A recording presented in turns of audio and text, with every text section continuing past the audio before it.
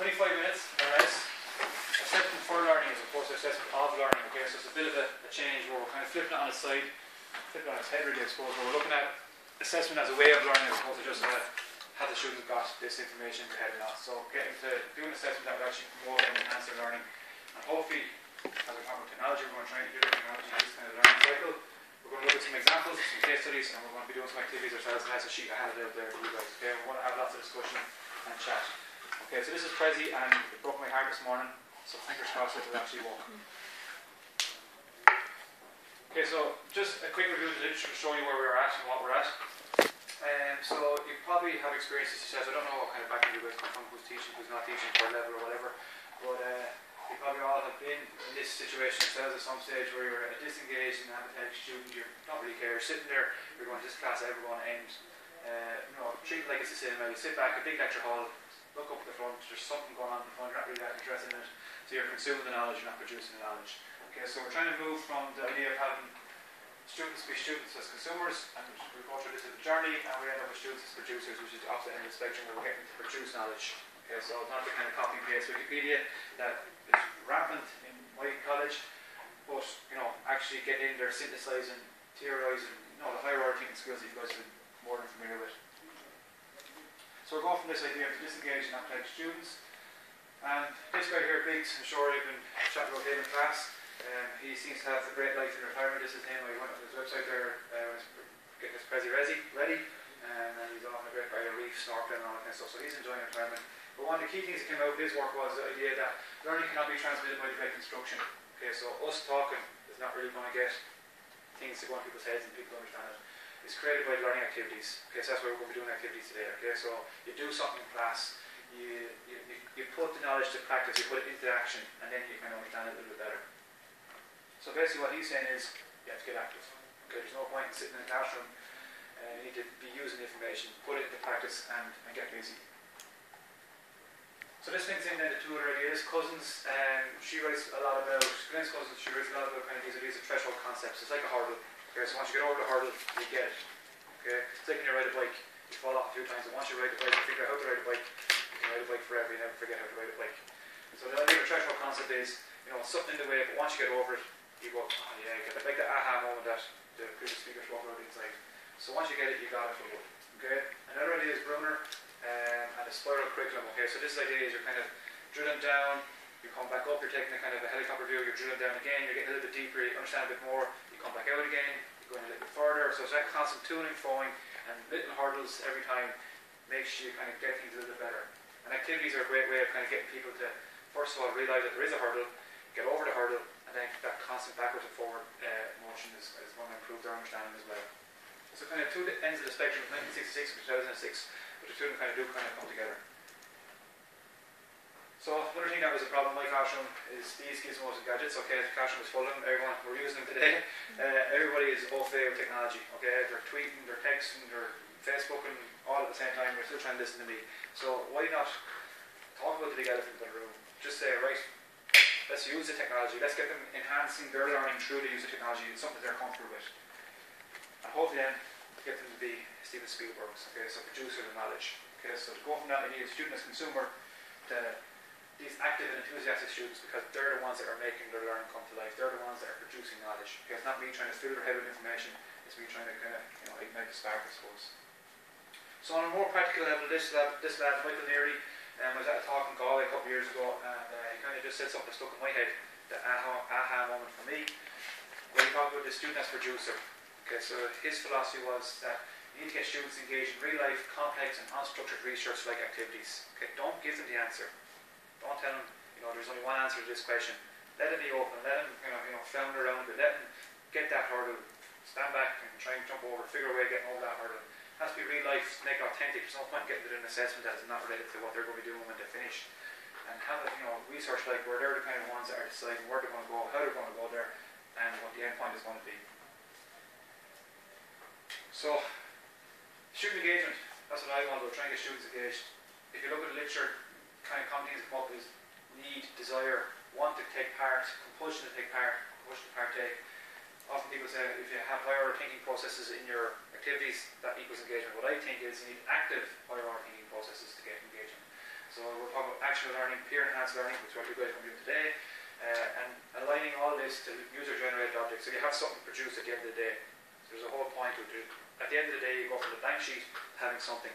Okay, whether it's a video, whether it's a mind map, whatever it is, you have something to show. Well, look, this is my work. I've learned from the blank sheet where I knew nothing, and now I produce this visual, in my case, asset that I can show people what I've learned and how I've learned. And this is the Tendic assessment for learning.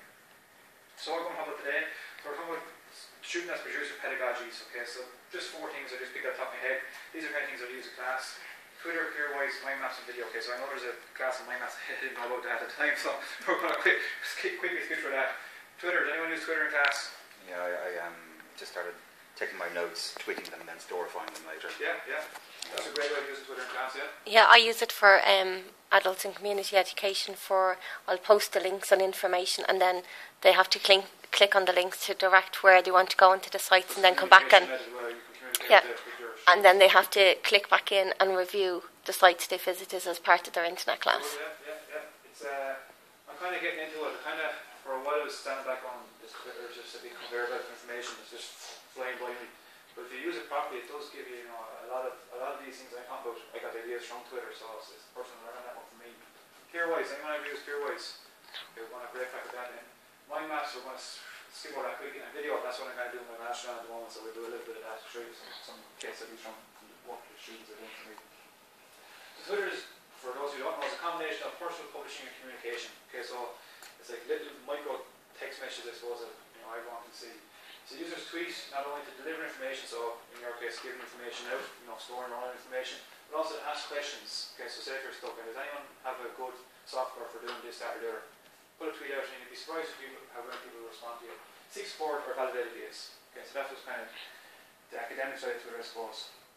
So here's what I kind of do in class sometimes. So first one, write a tweet which is 160 characters less, to summarize the topic on the notes you've done to date, and then send it out in the class or follow each other so they can kind of see, as a way of everyone having a chat with everyone over coffee that we do in class here, but you know, on a much bigger scale for, you know, my class first year could be 200 students. There's a way of 200 students summarising a topic that everyone else can read, so it's a quick way for them to kind of recap.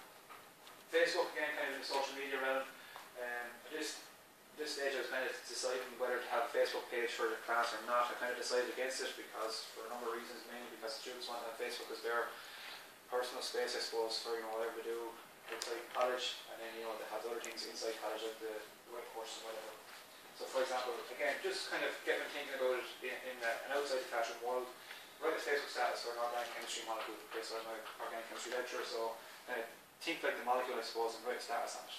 Okay, so status for carboxyl group is a sore backside is because there's a reaction where it attacks it from the rear. The students find that quite funny. So it's a good way of linking real life into the Twitter sphere, I suppose. So common activities, so again, I mentioned Twitter here today. So sharing information, seeking information, and community building. So for me, community building is probably the most important use of Twitter, where I can actually get ideas from you know, all around the world. Particularly Australia and America is quite strong in the tech side of education. Um, but quite interestingly, these are the same things that people are doing Twitter regularly. Okay, so if you're following, you know, um, Stephen Fry, he's a quite funny person to follow on Twitter. He could probably break down his tweets into one of these three categories as well. So what we're doing in academia is kind of mimicking the real world as well, which is what I, I kind of find more interesting. So can Twitter used? So some examples, we've chatted about them here already. Twitter-based fora. And do any people follow Twitter fora? There's a good one, edtech.ie.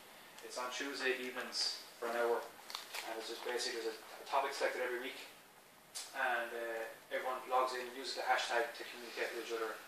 Um, so, you know, topics range from um, new junior cert, you know, the reforming junior cert to uh, use of technology in education, and everything in between. So it's a good way to kind of get, um, you know, get to know the people that are tweeting in your area first of all, people that you'd like to follow that would be, you know, helpful for you. There's no point in following a of people and just reams and reams and reams of tweets. Pick, you know, 5, 10, 15 people that you know have good quality tweets.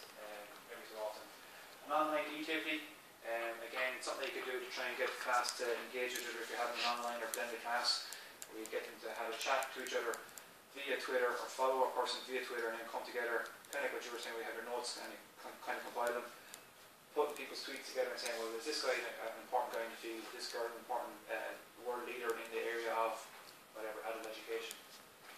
Notification communication, got that already today. Um, so it's, it's a good way to get information usually like that, send it out to the class. Le- lecture pattern has changed, we're in X104 now. It's a quick way of communicating. And it's also a way if you're, you know, kind of coming across things that are interesting in your reading or in, your research, you can send it on to the students with a little hyperlink and they can follow it if they want. Okay, so it's kind of extra reading that they can kind of get on the fly, read it on the bus, on the train, on the way home, kind of, you know, keeps them occupied, I suppose, and nothing else. And it's a good way to disseminate your work as well. So if you are publishing in the area, say, you know, paper on, conference proceedings on, here's my latest work, and it's a good way for you to get followers and kind of enhance your learning network as well. So, as I said before, the best way to get us to learn as students in the classroom here today is to get active. So on your worksheet there you have activity number one. So those hmm. four things that I just mentioned there. So pick one of those four, take a look at it, and see would you be able to adapt it or apply it in your own teaching or your own training setting.